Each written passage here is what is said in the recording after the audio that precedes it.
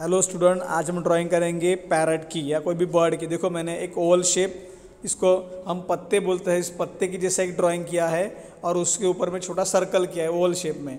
इस तरह से बेसिक ड्राइंग करके आप उसको किसी भी किसी भी बर्ड का शेप दे सकते हैं। जैसे यहाँ पे पत्ते की शेप को थोड़ा सा क्रॉस किया, एक थोड़ा सा उसका फेदर बनाया, उसका मुँह बनाया, उसकी पीक बनाई, उसके पैर बनाए, नीचे उसका वो पंख बनाया।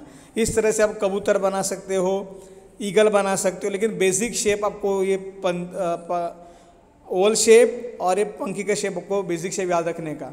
उसके बाद अगर आपके पास वाटर कलर है वाटर कलर से या कोई भी कलर से आप इसको पेंट कर सकते हो डार्क शेडिंग लाइट करके कलरफुल बना के, अच्छे से ड्राइंग करके मेरे को भेजना। Thank you